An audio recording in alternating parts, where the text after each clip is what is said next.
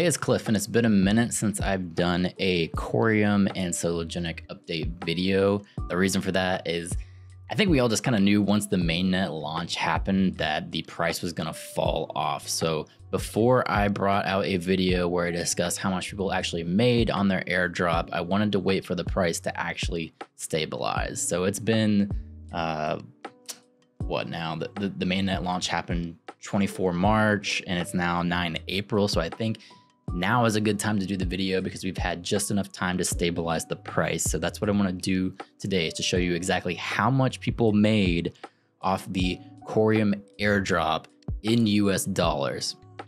So just getting right into this, I will paste all of these links down below. If you're someone that's kind of new to Sologenic and Coreum, I think a lot of these tools that I'm gonna show you are really helpful and I think you should definitely have them in your toolbox. So First things first, what I have here is XRP scan. So what Coreum does, they'll decide on a wallet that they're actually going to distribute the tokens in, which is the one that I have right here, will be pasted down below in the description. So what you can do with this, you can actually come through and see all the different uh, transactions that Coreum actually made. And it, if you search for your wallet address, you can actually go in here and see if they've gave you the money or not. So if you look at the date here of the second to the last transaction, you can see that the transactions for the airdrop stopped the 2nd of April. So at this point, if you do not have your airdrop, either something was wrong with your trust line or you were using a exchange and the exchange has not issued your tokens yet. So that's something you're gonna have to reach out to, let's just say in this instance, it was Bitrue here and Bitrue hasn't given you your tokens. You gotta reach out to their support team. Hey, you guys said you were to support the airdrop. At what time are you actually going to give me my tokens? Don't let these exchanges screw you. Definitely make a fuss about it. Moving on from there, I got a breakdown of the actual numbers that went into the Coreum airdrop. So there is a fixed supply of Coreum that can actually be given out in this airdrop. And the more people that actually had trust lines set to get the airdrop means the less Coreum you're gonna get, right? Because it's a shared pool. So when we look at the snapshot that was done on Coreum, it looks like there was about 90 million that participated. So you are sharing your value of that pool between these uh, people who set the trust line here. So for Solo, it looks like there was about 200 million. And for XRP, there was 10 billion. So, you know, when it comes to XRP, if there was 10 billion uh, set to this trust line, that means your ratio is going to be pretty low. And I can actually get into that here. So, so for each Coreum that you have, you are getting 1.102202 Coreum. So for your solo, you are getting 0.124734 and you're getting that in X core. X core is a little bit more complicated, but if you want to make it simple, just think of it as core. X core is just an option token where they want it to hit $10. If it does not hit $10, then they're just going to give you core for that amount. For your XRP, this is what I was kind of talking about because there was so much XRP set in a trust line, there's not really a big ratio that you're getting for it. So if you had just your XRP set, uh, it is 0.002493 X core. So moving on from there, I just wanted to show this chart again because I was getting a lot of questions. As we were leading up to March 24th, my views were skyrocketing. I, I think I got like 16,000 views on one of my videos. There was another one that got like, I think 12K or something like that. And I just couldn't keep up with all the comments. I, I'm a very small YouTube channel. So for me to see all of these comments coming in, people troubleshooting and uh, trying to get this airdrop, it was just, it was a lot. But the good news for that, there was a lot of people in the comments that were helping each other out. So I definitely appreciate people that were able to come in, they were able to uh, troubleshoot together, and it was really like a community coming together to help people. I just couldn't keep up with everything. It was just pretty crazy. So I just wanted to bring up this chart again because I think it'll answer a lot of the questions that people had, and maybe they just didn't see it from a previous video that I did. So for your core, the airdrop will be the 1st of April, which has already happened, like I said. There's the 1st of June, the 1st of August, and the 1st of November. So it's split out 25% from those numbers that I just listed to you. Now for your solo and your XRP, you're getting 100% of that airdrop on the 15th of May. So in like another month almost, that's when you're expected to get this uh, airdrop for these two right here. Moving on from there, the current price of Coreum is around 33 cents. So that's the number that I'm going to be using in my calculation for this. And then I just wanted to show you here. This was the 24th when it was going live, and you can see this massive sell off here. So I didn't want to do a video uh, until this price kind of stabilized a little bit so I can give you what you actually got. There was a lot of buy pressure here and then a lot of sell pressure as well. So just want to make sure the price was actually stable before I give you the numbers. So here are the actual rough numbers that I got here. I have a chart for core, I got one for XRP, and I got another one for solo. So as you can see here, I got a key.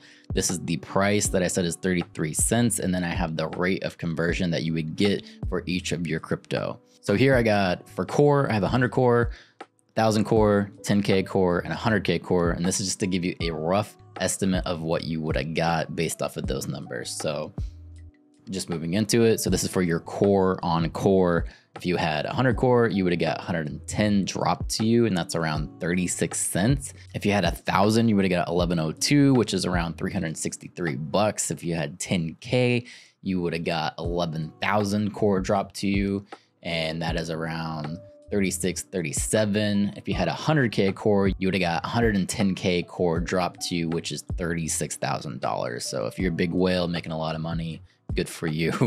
Uh, moving on to solo, I have the same breakdown here. So if you had 100 solo, you would have got 12 core dropped to you, which is around $4. If you had 1,000, you would have got 124 core, which is $41.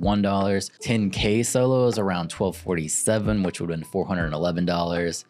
Uh, 100K is 12K, which would have been around four grand. So moving on to XRP, XRP is probably the lowest uh, amount of money that you would have got. Uh, there was just too much uh, set to the trust line to actually have a good number to go around. So for XRP, if you had 100, you would have got 0.2 core drop to you, and that's around 8 cents. If you had 1,000, you would have got 2, which is 82 cents. If you had 10K XRP, you would have got 24 core, which is 823. If you had 100K, you would have got 249 core drop to you, which is around 82. Not bad considering, you know, free money based off of just setting a trust line and them giving it to you. So, you know, I'm all for it. So now that we got this snapshot taken care of, we don't have to worry about that too much anymore. What's next? Well, I went in, I looked at the roadmap, scrolling down. This is all the things that we've accomplished so more. You can see the, the testnet here, the mainnet launch, uh, pretty much the only thing they got left on this is the DEX implementations. They have some IBC stuff going on and advanced DEX functions. So they're going to add a little bit more to the DEX and some additional support for different tokens and things like that. So to be honest, I mean, yeah, they still have till 2024 with Q1, but a lot of this is uh, completed. So they're they're definitely making progress. I don't know if you guys have seen the blockchain explorer that they kind of built here. It's pretty cool. But when I looked at the tokenomics, you go here, not even 30% have bonded their tokens. So people aren't really actually staking to validators yet. So that's why this uh, APR is still pretty high. It's 33% if you're looking to stake and get your money's worth.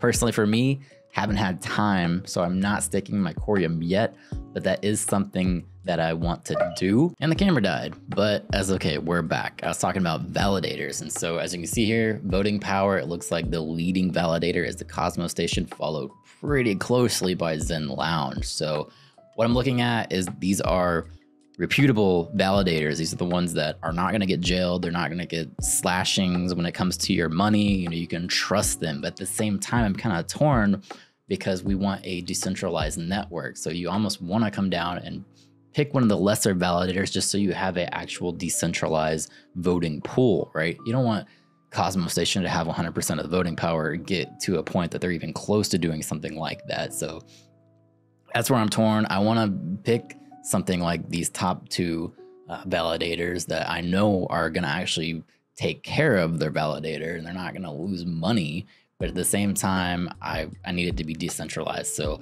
I don't know which one I'm actually going to pick. Of course, we want to come over and look at the commission. I think 5% is really competitive when you're looking at commissions.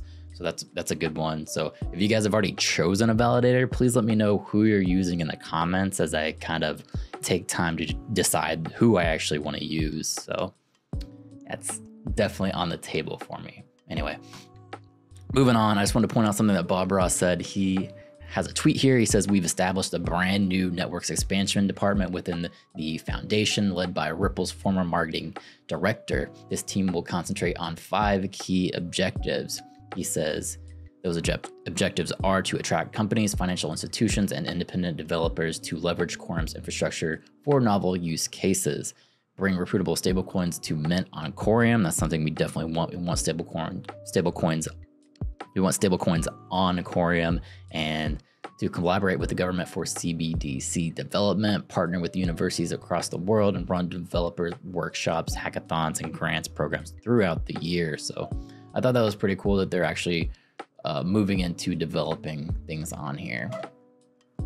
So then he follows up with a tweet based off of that one that says the newly established network expansion division is set to commence its contributions to the ecosystem from Monday.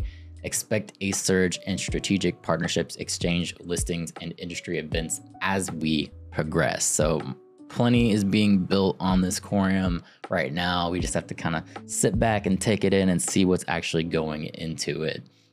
So, two last things that I want to point out really quick for people who have not actually done any staking for these validators. There is a good tutorial for Leap Cosmos wallet that I will paste down in the description. It's really simple. I think if you've ever used Cosmos Station or something like something like that, you can pretty much figure this out. But you know, they got pictures and everything. I think it's really simple for people to go through this and figure out what they need to do to actually stake their Coreum. But before you do that, you have to go to the solo dex here to and hit bridge so you can bridge your Coreum here over from the XRPL into the actual layer one that is Coreum to be used. So that's pretty much all I got. Thank you to my Patreon supporter, Kevin. And if you guys got any more questions, you know, I'm trying to come back with these videos. I just wanted to give time for the price to stabilize. So I'll be back. I try to make a video at least at least one video to two videos a week. And it's usually one focused around Sologenic and Coreum, and then I try to throw in different kinds of crypto news or things that are going on in the sphere. So thank you all for watching and have a great week.